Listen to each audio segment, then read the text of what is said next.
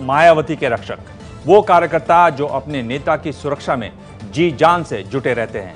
मायावती के रक्षकों की इस सेना का नाम है बहुजन वॉलंटियर फोर्स।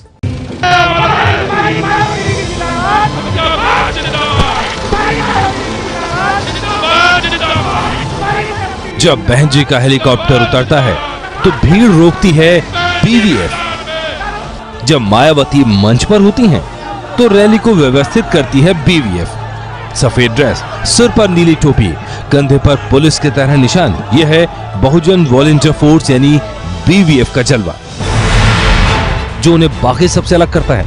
ये है मुरारी लाल जो पार्टी की दी हुई वर्दी पहनकर ड्यूटी में जुटे हैं। इनको काम दिया गया है झंडा फहराने का।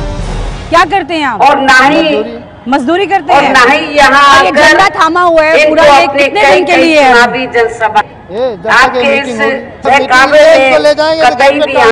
कुछ झंडा फहराते हैं तो कुछ डंडा हाथ में ले ड्यूटी करते हैं। जब आसपास इलाके में रैली होती है तो ये लोग पार्टी की दी हुई वर्दी पहनकर पहुँच जाते हैं ड्यूटी निभाने। शुरू से शुरू से। शुरू से। हाँ एकदम शुरू क्या करते हो अलग से?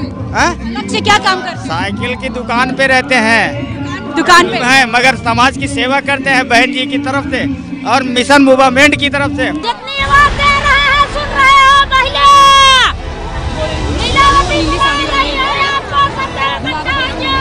रही है पुरुष उतनी महिलाएँ मौजूद होती हैं बीवीएफ में। नीली साड़ी और सफ़ेद ब्लाउज पहनकर महिला कार्यकर्ता खुद को गौरवान्वित महसूस करती हैं।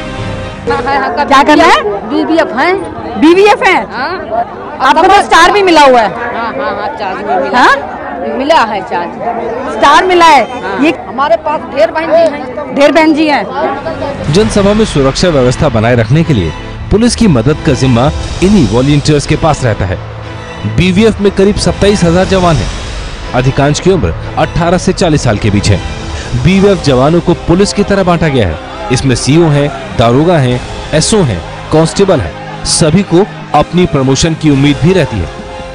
पचास रूपए देकर बहुजन समाज पार्टी का सदस्य बनने के बाद ही इस वॉलंटियर फोर्स में शामिल हो सकते हैं। इस काम के लिए ना तो पैसा मिलता है और ना ही मांगा जाता है। लेकिन उम्मीद ज़रूर रहती है कि बीएसपी सरकार आने पर घर में किसी की नौकरी लग जाएगी। हमारा बाल बच्चा कहते हैं माँ जो आप इसी तरीके से जुड़ी हो तो आप हम हमको कहीं नौकरी लगाने का कट करिए इतना पढ़ाई के। फिर नौकरी लगवा पाएँगे आप? हाँ हम कहे बच्चा ऐसा है कि नौकरी लागे अपन सरकार आए तब आए।